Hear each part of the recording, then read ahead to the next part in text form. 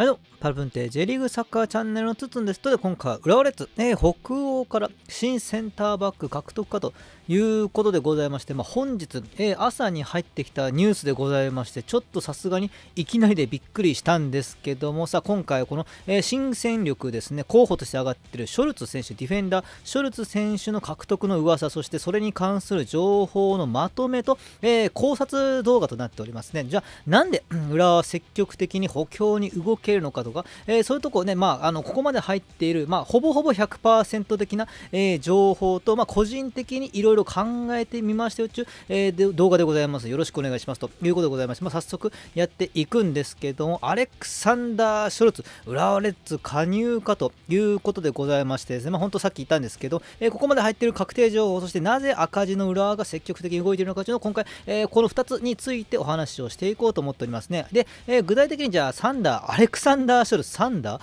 アレクサンダー・ショルツ選手の紹介になりますけれども、189センチ、84キロということでございまして、まあえー、僕はですね、体重マニアで、えー、ございまして、サッカー選手はやっぱり体重も大事だよねということでございまして、まあ、190センチあっても、やっぱ70キロのね、センターバックとかフォワードは、やっぱりこう、空中戦に強くても当たり弱かったりとか、えー、しますので、やっぱりある程度体重も大事だよねということを考えると、この、え、体重84キロ、いや、もう立派なもので、えー、ございます。まあ、これだけでね、多分空中戦の競り合いになって体をぶつけられたとしても、まあ、こう、跳ね返すぐらいの力は、えー、あるのかって感じがしますね。で、えー、元、えー、アンダー21デンマーク代表候補、まあ、代表ということでございまして、まあ、しっかりこう世界の経験もあるということでございますね。で、じゃあ、どんな選手なのかっていうのもまとめてみました。まあ、これ今入ってる情報なんですけど、左右の、えー、センターバックができる。で、さらに右サイドバックもできるということでございまして、まあ、この左右のセンターバックができる。で、右のサイドバックも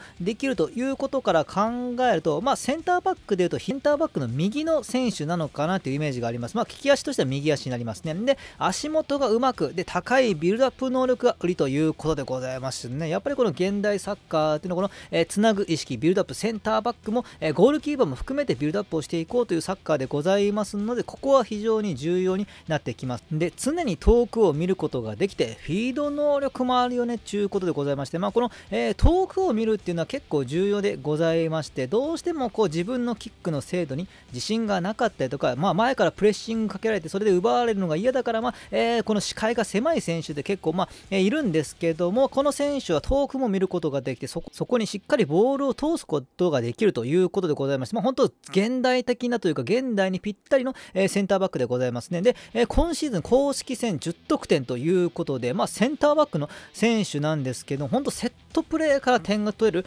選手ということでございまして、本当すごいな、ディフェンダーで10得点。あれ？これどっかで見たことあるなとね、足元うまい。で、ビルドアップ能力がある、フィード能力もある、今季10得点。あれ、これってもしかしてということで、すなわちトゥーリオじゃないかということでございましてですね、本当集まれということで、浦和に集まれということで、えー、来ていただきたいんですけども、すなわちトゥーリオ集まれでございますけども、えー、来てほしいなって感じがしますけどもね、まあ、えー、ということでございますね。で、今季、えー、CL チャンピオンズリーグですね、全6試合出場ということで、こちら、まあ、さっき、え、デンマーク U 21のデンマーク代表の経験もあるという話をしたんですけどもクラブ単位でもこういう、ま、世界を経験している、まあ、世界といいますかですね、まあ、多くの大きな舞台を経験している選手でございますね。でじゃあここで、え、海外の記者のツイートをどうぞということでこちらになりますね。何人の方かはちょっとわかんないんですけどまあこれ Google 翻訳でございますね。まあ、え、これ海外の見たんですけども、え、述べたようにそれは当時の一つですと。で今回の SC ミティランの、え、アレクサンダー・ショルツにとって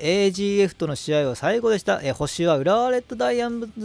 ヤモンドに、えー、売却されましたということで、あまあ Google 翻訳もだいぶですね、向上は、えー、しているんですけども、それでもよくわからんということでございまして、まあ、まとめると、まあ、浦和レッズの売却が決定していると。で、あとはメディカルチェックを残すのみだよねっていうことでございます。まあ、多分まとめれば、えー、そういうことかと思いますし、まあ、いろんな情報をまとめると、まあ、本当メディカルチェックを残すのみということでございまして、まあ、近いうち来日、まあ、ちょっと今、渡航の制限とかいろいろありますますのでどうなるか分かりませんけども、まあえー、状態としてはメディカルチェックを残すのみだよという、えー、状況らしいですね。で、まあ、ここまでが今入っている、まあ、確定情報ということで、ここからは、まあえー、憶測の、えー、情報になります。じゃあなんで浦和はこんなに補強ができるのかという、えー、話でございますね。多分これはいろんな方が思ったんじゃなかろうかと。ね、今赤字浦和6億円の赤字があると、えー、言われておりますが、それにしてもなんでじゃあこんなに、えー、補強ができるのか、もっと赤の回収に回した方がいいんじゃないのかいという、え、ことでございますけれども、まあ、その前にこちら見ていきましょうかね。4月以降の補強ということでございまして、まあ、ユンカーが2.8億、これ、カッコはま移籍金でございますね。ユンカーが2.8億円プラスの、まあね、年俸でございますね。で、酒井宏樹が1.3億円、これは今日の最新情報なんですけど、フランスのレキップかどっか、レキップじゃなかったか、フランスの、まあね、新聞社、メディアだと思うんですけども、えー、そこによると、酒井宏樹は一1.3億、要は1億3000万円で浦和へ移籍するんじゃないかということで、あれ、この間まで酒井宏樹の移籍は2億円前後と言われていたのに、こんなにガクッと下がっているということでございますね。まあ、これはどういう交渉があったか分かりませんけども、1.3億円で世界で戦えるセンターバック、サイドバック、ディフェンダー、酒井宏樹を獲得できたのは非常に大きいんじゃないかと思いますね。もし移籍金のこう値下げ交渉に成功したのであれば、さすがグッジョフロントっていうことでございます。で、えー、今回報道になったで、ショルツの移籍金が6700万円ということでございます。まあ、これは噂でございますけども、まあ、これプラス年俸負担が酒井宏樹もユンカーも手術もあるんですけども、まあ、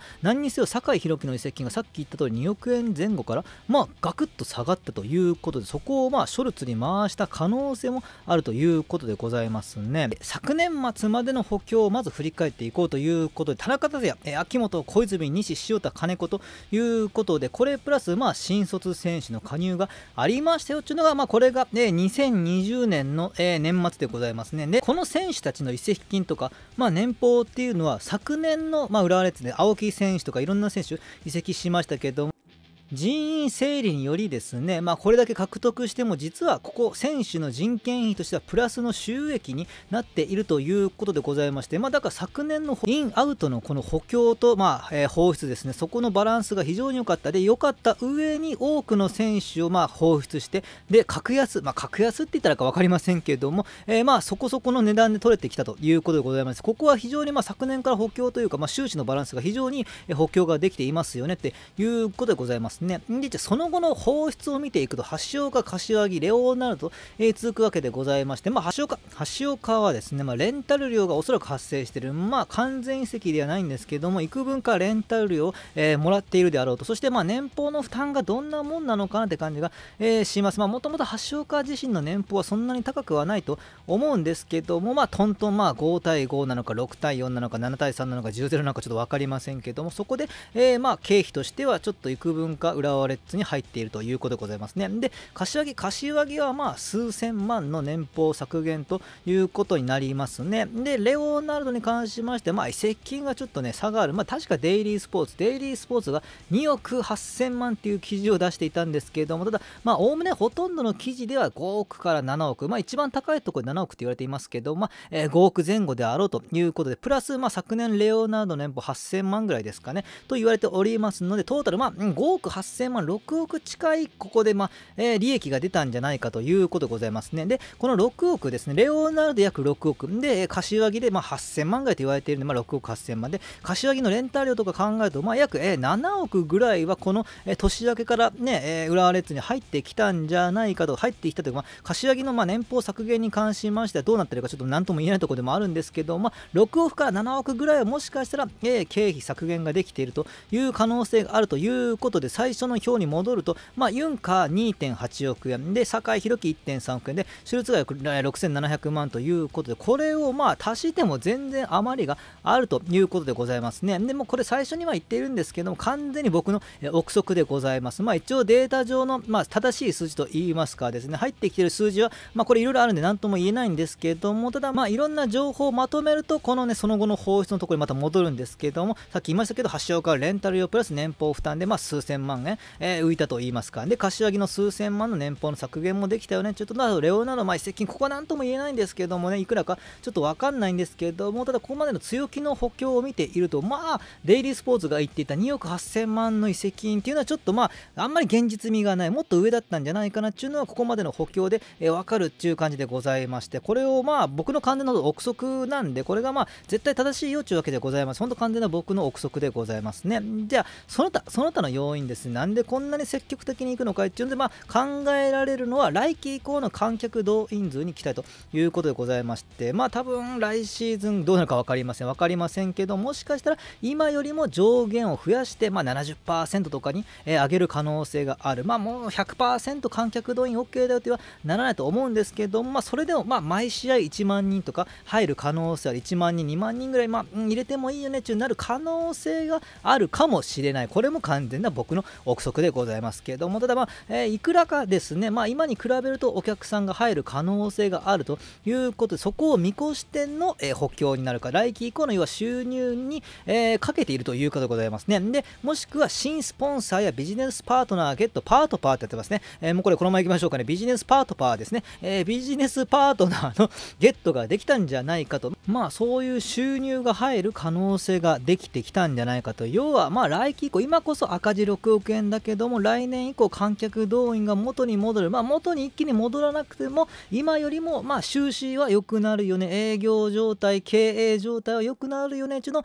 見越しての先行投資の可能性があるということでございますね。でまあここまでいろいろ話してはきました。まあこの選手のねインアウトとか放出によって得られた移籍金だいろいろまあ言ってきたんですけどもやっぱり僕はこの一言だと思います本当。常に22年の優勝を考えて動いていると。これは申し訳ない。土田さんか西野さんの言葉なんです。どっちが言ったかはっきり覚えていないんですけども、まあ、要は浦和の強化部の方です。土田さんか西野さんでございますけども、まあ、浦和レッズ我々強化部はもう常に22年の優勝を考えて動いてる。じゃあ22年ってなんでなんだいっていうと3年計画のま最終年浦和レッズがリーグ優勝をま決める年に一応予定ではなっている22年でございますけどそこに向けて動いてる。まあやっぱり我々もですね強化部しっかり仕事せよとか、まあ、なんやかんや言いながらもですねまあやっぱり動いてくれているというのとまあ本気で動いてくれているんだなっていうのはここ数ヶ月の動きで、まあ、非常に分かった、まあ、確かにこの開幕戦にレオナルドの代わりは、えー、連れてくることできませんでしたし、まあ、補強が年明けの補強がっていうのはいろいろあったんですけども何にせよここ数ヶ月で多分浦和レッズのこのフロント強化部の見方が変わった方いい意味で変わった方結構多いんじゃないですかね。もう僕もですね、まあ、なんだろう、まあ、動いているだろうというのは間違いなくあってそれはやっぱり動かないとそれが強化部の、うん、仕事なんでそれは、えー、仕事放棄しているに近いと言いますか常に次の移籍市場次市場が開く時期を見据えて動いているのでそれがうまくいくかいかないかは別としてしっかり動いてくれているっていうのは僕の中でやっぱりそこは、えー、信じてはいたんですけれどもそれがうまいこと交渉もまとめることが、えー、できたということでこれは本当常にこの22年の優勝を考えて動いてまあこの浦和の3年計画ってまあ揶揄されがちと言いますかね。いやいや3年で優勝なんてて今の浦和が、川崎超えていけるのかっていうのも、え言われていて半分ネタみたいな扱いもされて特に昨年1年目の成績見ていると、まあえー、ネタとして見られても、うん、しょうがないよねっていうのが僕の中でももちろん、えー、あってそれはしょうがないっていう感じが、えー、するんですけども常にやっぱりこう22年の優勝を真剣にこのクラブは考えていると言いますか本当生まれ変わってきているのかなっていう気持ちにさせてくれる、まあ、うん、強化部の、仕事ってやっぱり補強とあと、まあ、さっきも言いましたインアウトですね。放出も込みで、まあ、あの人件費のとこも関わってくると、えー、多少はあると、うん、思うんですけども、まあ、少なくとも真剣度真剣度っていうのは非常に伝わってくるかなと。でてか多分伝わっていないとこれおかしいと思うんですけども何回で多分ね来年の浦和レッズ来年優勝するよね。3年計画3年目だもん。優勝するよねって思ってるサポーターは正直少ないと思う。ね。正直少ないと思う。まあ来年 ACL か今年 ACL いけたらいいよねとかにはあると思うんですけど来年優勝この川崎破れんのかっていうのがあるのが多分多くの浦和レッズサポーターの声かなと思います。もちろん真剣に優勝願っているとかまあ僕も願っています。願っているけども願ってる半分反面いや大丈夫か？優勝大丈夫か？っていうのが、あ、るのも正直な、気持ちでございますがただもうそんな僕らの外野の声じゃなくて自分たちは自分たちの目標に向けてしっかり仕事をする。それがどんなに1年目3年目 3, 3カ年計画の1年目が失敗と言われていたとしても2年目3年目でしっかりチームを作り上げる。で僕が怖いのはあの僕は本当今のフロントすごいいいと思っています。結果も出していますしこれは非常にいいと思うんですけれどもこういうねなんだろうねせっかく動き始めてあいいじゃんよくよくやってんじゃんって評価を上げている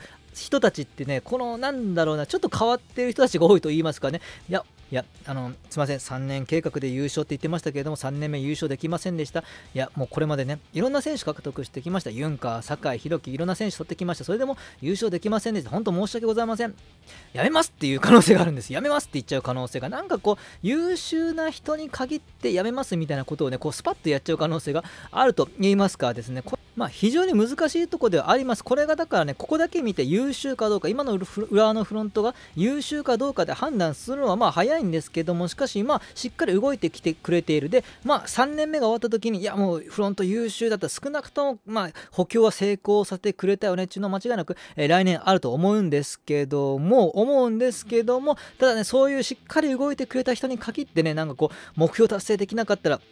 もう我々辞めますみたいな責任取って辞めますみたいなこうねプロフェッショナル変にプロフェッショナルみたいなとこあると、えー、思うんですけれどもただ今の裏はねもし仮に3年計画が、えー、こう達成目標が達成できなかったとしても今のこのフロント強化部は本当素晴らしい仕事をしてくれていると思いますしこれはやっぱりずっと浦和レッズのそのサポーターとか、えー、浦和レッズを見てきた人なら今どんだけ浦和レッズが変わろうかとしているかっていうのが非常に伝わるんじゃないかと個人的には、え思っているんですけれどもだからこそまあ、うん、どんどん続けてほしいと思いますし僕は来年優勝できるかどうか分かりませんけども少なくとも今は優勝の可能性が数十パーセントぐらい上がったのかってそういう、まあ、楽観的に見ています。僕はもう楽観主義者で基本的に楽観主義者でも、えー、人に対してもこのサッカー好きなものに関しまして特に厳しいことを言うつもりも、えー、ないですし楽観的に見る立場なので仮に目標達成できなくても全然それはまあ良かったところを評価しようと思うんですけどもまあ、うん、何せよですね本当よく動いてくれていると思います。このショルツの獲得もですね本当、えー、今後どんどんねまあ情報入っていくと思いますので続行を待とうと思います。ますねはいと